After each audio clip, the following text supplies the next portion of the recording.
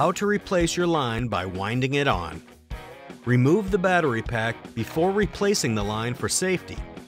When the battery is out, press the release tabs on the spool retainer and remove the spool retainer by pulling it straight out.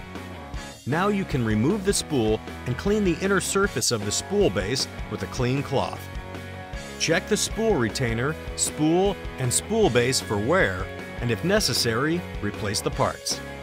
Now, take about 16 feet of new cutting line and fold it in half. Adjust the line so that one end is 4 inches longer than the other. Hook the folded end of the cutting line onto either of the slots in the spool and wind the line in the direction indicated on the spool.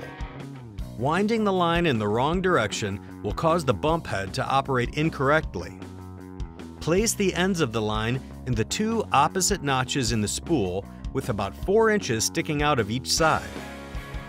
Align the notches of the spool where the line is sticking out with the eyelets in the spool retainer and put the spool in the retainer.